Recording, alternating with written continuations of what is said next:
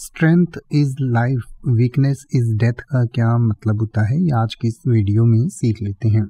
ये वाक्यांश जो है, स्वामी विवेकानंद जी का एक प्रसिद्ध उदाहरण है, जो जीवन में शक्ति, आत्मविश्वास और साहस के महत्व को अपनाने के बारे में बताता है।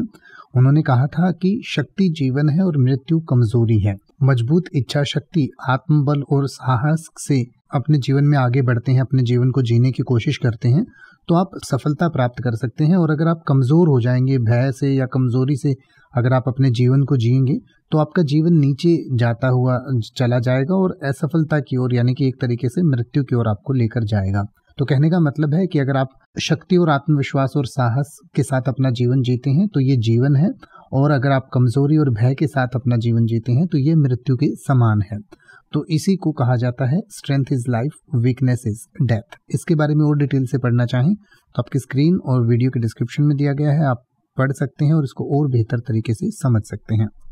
अब आप किसी भी वर्ड का मतलब हिंदी और इंग्लिश में यूट्यूब पर सर्च कर सकते हैं। आपको मेरी वीडियो मिल जाएगी, जिसमें आप बिना किसी फालतू बकवास के सीधा उस वर्ड का मतलब समझ पाएँगे। तो ऐसी ही वीडियोस को देखते रहने के लिए चैनल को सब्सक्राइब करें और बेल आइकन को प्रेस करें।